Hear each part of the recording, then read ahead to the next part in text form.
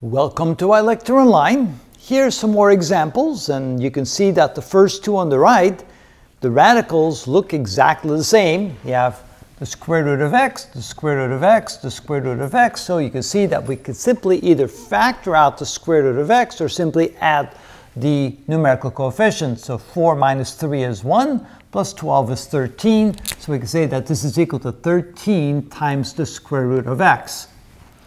Or if you don't like that, what you could do instead is simply factor it out the square root of x. So this is equal to the square root of x times what's left. We have a 4 minus 3 plus 12.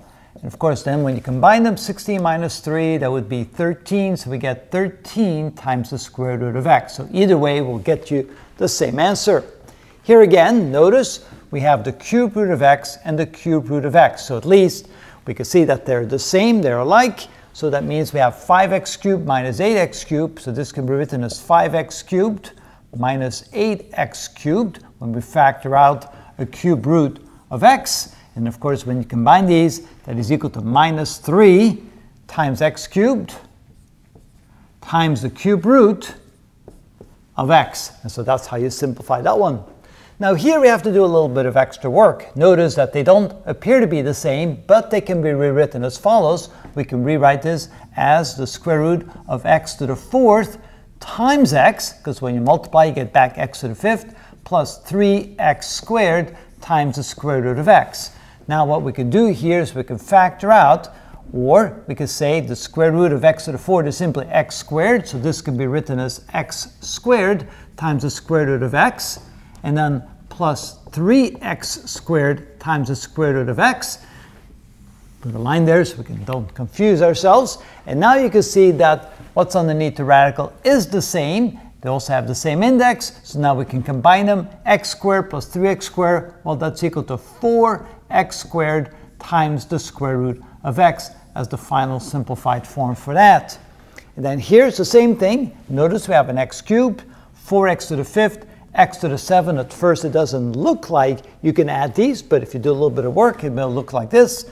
We get x squared times the square root of x squared times x minus 3x times the square root of 4x to the fourth times x and plus 2 times the square root of x to the sixth times x. Notice the square root of x squared is simply x, so we can multiply that times x squared. So we get x squared times x times the square root of x. Again, the square root of x squared is simply x.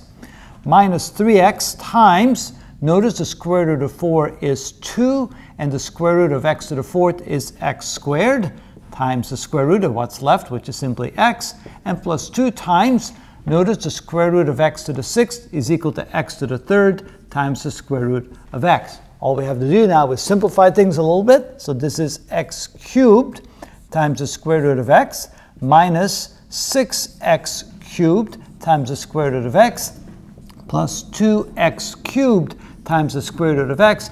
Now you can clearly see that all the radicals are exactly the same. So now we can simply add and subtract them. We have an x cubed minus 6x cubed plus 2x cubed. 1 plus 2 is 3 minus 6 is equal to a minus 3x cubed times the square root of x. And that's then the final simplified form. And I guess I do need an equal sign here, and I probably need an equal sign there. And that is how it's done.